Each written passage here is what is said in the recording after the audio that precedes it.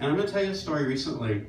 I made a new friend on the internet, and he came to my house, and I was sitting in my blowjob chair, my pants around my ankles, and my new friend was kneeling in front of me and giving me a terrific blowjob, taking it all the way in, no gag reflex.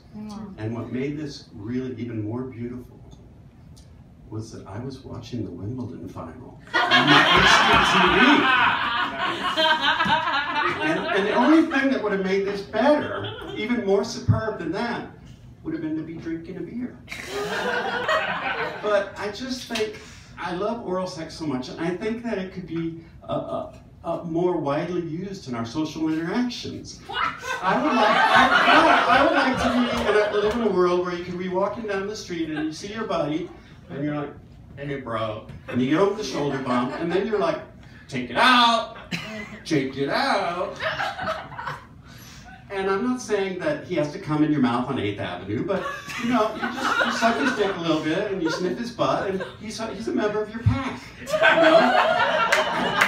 And I um, I, I look interesting from a distance. I have my director frames on and a man bun, and I'll be walking down the street in Chelsea, and from a distance I'll see a good-looking guy, and we'll be looking at each other, and invariably it'll go something like this. He'll be looking at me, and then he'll go. and I call it the stare, zoom, avert. and then he'll walk past me with his force field up, and I'm lucky if he doesn't like spit on my shoes as he goes by. It's hard. It's uh, it's hard to fall off the beauty mountain. So say, say hi to Big Dave in Miami in the 1990s. Look at this guy. He's fucking handsome. Can I have some affirmation for my beauty? Look at him.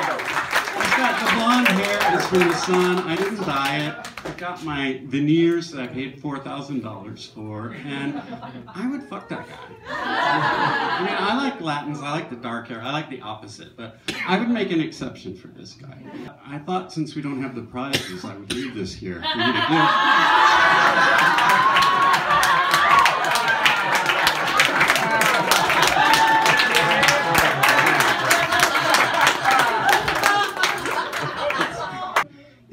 It's hard to fall off the beauty mountain. You guys, you don't know what it's like to have been spectacularly handsome like that.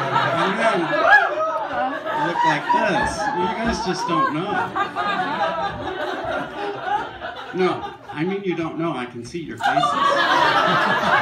and, and, and maybe that's not such a bad thing. Tonight, when you're brushing your teeth and looking at your ordinary face in the mirror, you can say to yourself, well, maybe this isn't so bad. It's, it's not so far to fall. It's not so much to lose. And, maybe I won't end up like that raging narcissist at Smut Slam. I, I wasn't talking about you. You're fabulous. I was talking about them.